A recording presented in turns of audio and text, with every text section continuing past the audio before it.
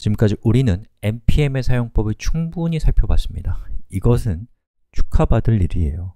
JavaScript라는 컴퓨터 언어를 통해서 Node.js 위에서 동작하는 수많은 패키지를 설치할 수 있게 됐거든요. 오늘날 가장 뜨겁게 성장하고 있는 컴퓨터 언어와 플랫폼이 JavaScript와 Node.js라는 점을 생각했을 때 우리는 완전히 새로운 존재가 되었다고 해도 과언이 아닙니다. 기분 좋죠? 예, 기분 좋은 것도 능력입니다. 한편 우리는 컴퓨터 어디에서든지 실행되는 독립적인 프로그램을 설치하는 방법을 지금까지 살펴본 거예요.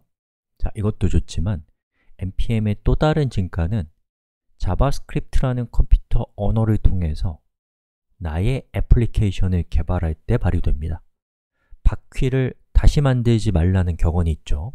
자신이 멀리 볼 수 있었던 것은 거인의 어깨 위에 올라탈 수 있었기 때문이라는 위대한 과학자의 고백도 있었습니다. Npm은 누군가가 이미 만들어 놓은 수많은 바퀴들이 저장되어 있는 거인의 어깨입니다. Npm에 잘 정리정돈되어 있는 소프트웨어적인 부품들을 이용해서 나의 프로그램을 만드는 방법을 알아보세요.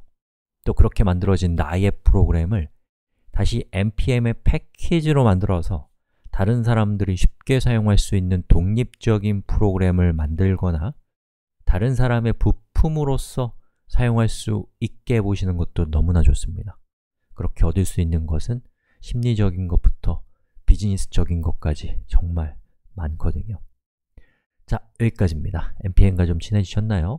npm과 친해지는 것이 얼마나 놀라운 사건인지를 곰곰이 감상하시면서 이제 수업을 떠나시면 되겠습니다.